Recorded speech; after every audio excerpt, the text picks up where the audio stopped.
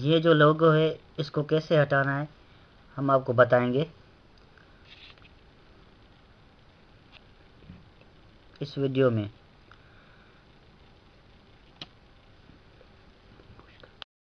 अब हम इस कंप्यूटर को रिस्टार्ट करेंगे।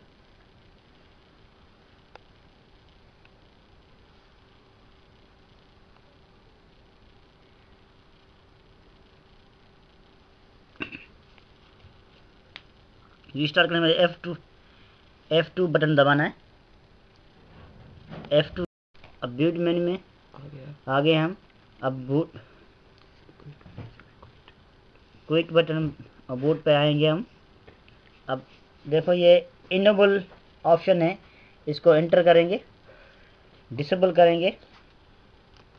अब सेव इज़ ऑप्शन पे जाएँगे। Save is change yes enter click करेंगे। और यस कर कर क्लिक करेंगे। अब एग्ज़िट बटन को क्लिक करेंगे। उसके बाद एंटर करके रिस्टार्ट करेंगे।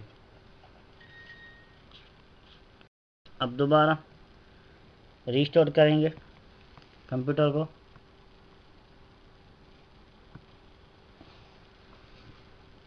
रिस्टार्ट के बाद बिल्कुल देखो हमारी ये मेन्यू चेंज हो गई लोगो वाला।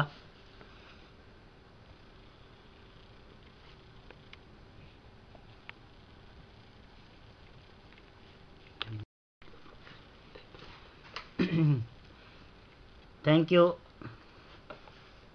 अल्लाह हाफ़ इस वीडियो को सब्सक्राइब करें और लाइक करें। अगर अच्छी लगी हो तो आपको और शेयर भी करें। Okay bye thanks